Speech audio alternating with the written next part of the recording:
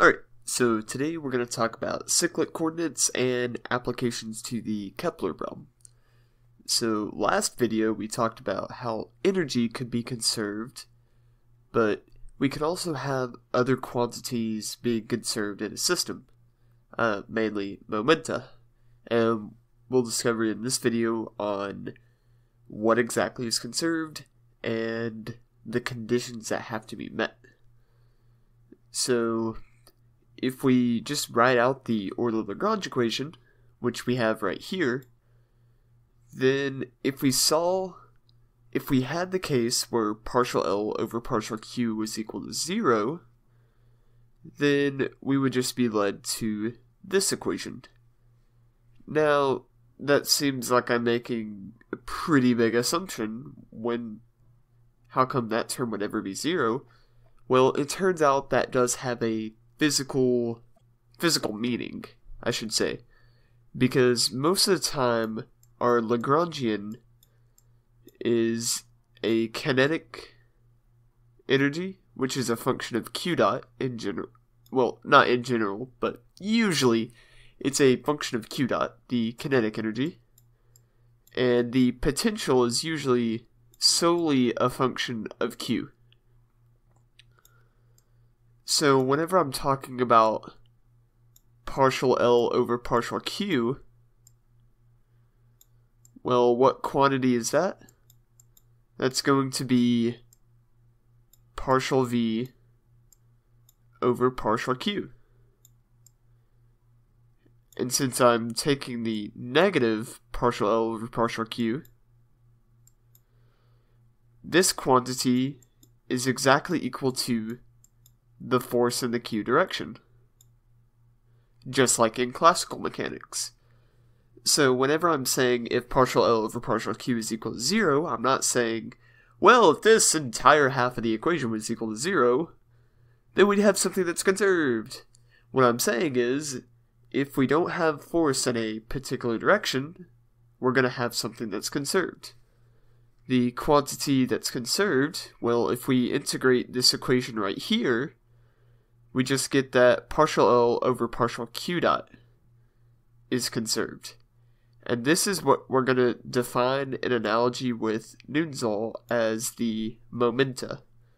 But this is going to be called the canonical momenta. So it seems kind of weird that it's the momenta in this sense isn't going to be just mx dot or something like that. It's going to be dependent on how the Lagrangian looks and what your q dot is. So, in general, when I say momenta is conserved in this series, I'm usually not talking about mx dot, like in Newton's laws. I'm talking about something a little bit more general, just that partial L over partial q dot. So, this is still going to be a useful quantity, though, because any conserved quantity is a potentially useful thing. Because, for example, if I have this conservation law right here, well, that means whenever I'm setting up my system of equations, I've got one less equation. So this will come up uh, when we talk about the Hamiltonian formalism, but whenever we have a situation occur like this, this equation can kind of be removed from the system, and that's going to be a very useful thing. So next, we're going to talk about an example of this. Alright, so at the very beginning of the video, I said we are going to tackle the Kepler problem, and we're going to do it in Cartesian coordinates first, and then cylindrical coordinates, to see how changing uh, your coordinates can actually lead to simplification of the problem, which is going to be very useful. So, the Kepler problem is the problem of moving in a 1 over r squared uh, gravitational force. So that co- corresponds to a 1 over r potential. But r is, of course, the square root of x squared plus y squared.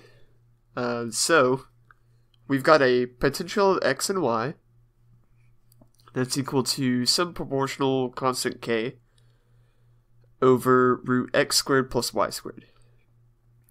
So if we write out the Lagrangian of the system in Cartesian coordinates, we have the following, because it's the total energy, so the 1 half m, then we've got the x dot squared plus the y dot squared, because we've got motion in the x direction and motion in the y direction.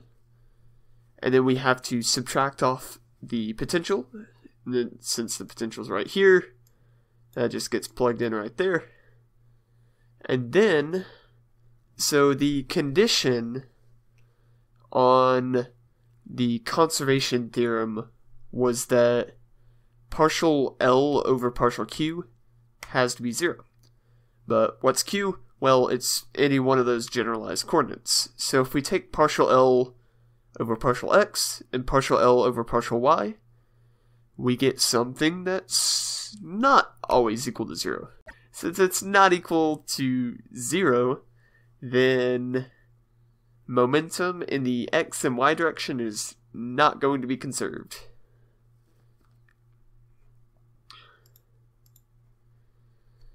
However, if we tackle this problem from before in the cylindrical coordinate system, so in other words, we need to make the point transformation x is equal to, whoops, my bad, is equal to r cosine theta, and y is equal to r sine theta.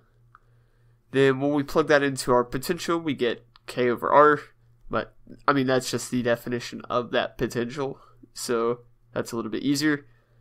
And then if we plug it into our prescription for the Lagrangian, so our kinetic minus potential, the kinetic is going to be 1 half m, and then we've got our linear part of the kinetic energy, so the translational kinetic energy in a way.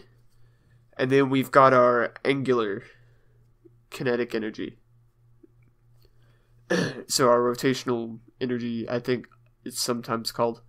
But anyways, it's equal to r squared theta dot squared. And then we have our minus potential, so minus k over r. And this time, we're going to get something a little bit different. If we take partial L over partial R, well, we get something that's not equal to zero. But if we take partial L over partial theta, then, well, if we look at our potential, it's just a function of R, it's going to go to zero. So that directly implies that momenta is conserved. But what's the momenta in this case?